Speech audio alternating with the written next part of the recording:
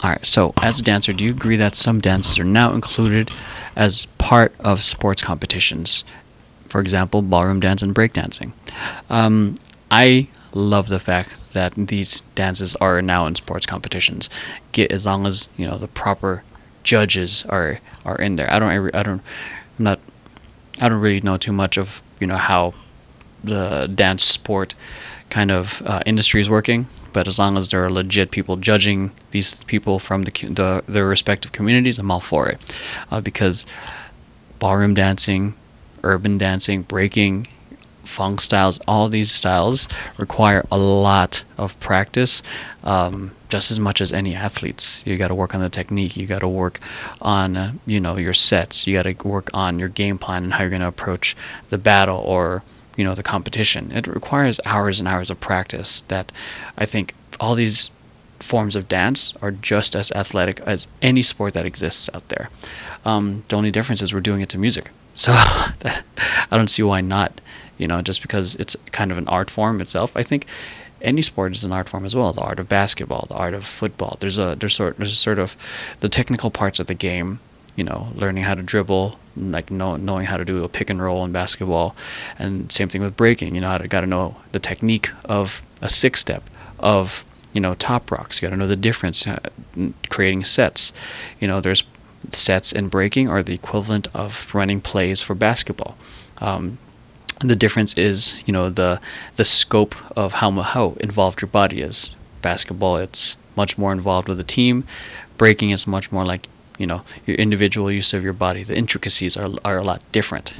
But nonetheless the principles and a lot of it the, the the principles and a lot of the work that's put in is just as rigorous as one another.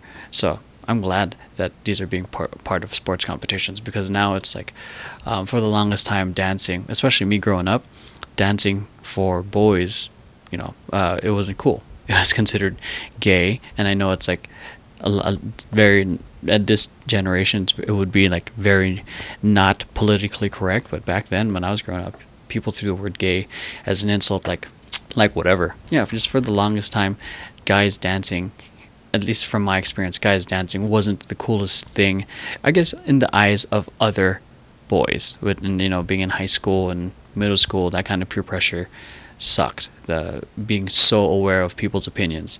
I mean, the cool thing is being a guy dancer was getting the hearing the screams from the girls. That's what kind of got me to change my opinion about it because like for a while I was anti-dance like in sixth like just to give you guys context sixth grade like I was I started dancing when I was eight sixth grade I was called a fag for dancing in my in my uh, elementary school four years I was I quit dancing. I became a skater boy, very angry, angsty, and all that stuff.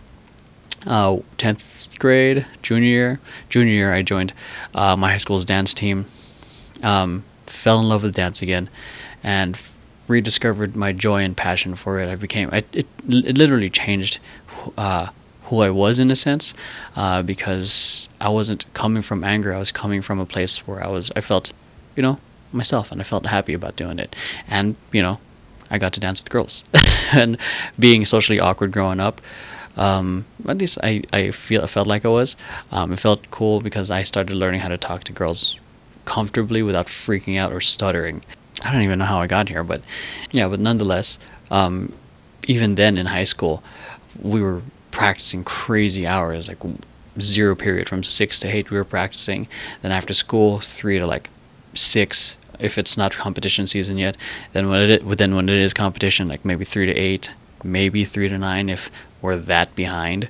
And then you just had to be really good at managing your time to make sure your your, your grades were good. Otherwise, you wouldn't dance. So, um, yeah, it, there's a lot of work put into dancing, and I'm glad it's being put into into the context of sports. And I think um, I think it'll give uh, deeper appreciation to the mainstream because it's it shows.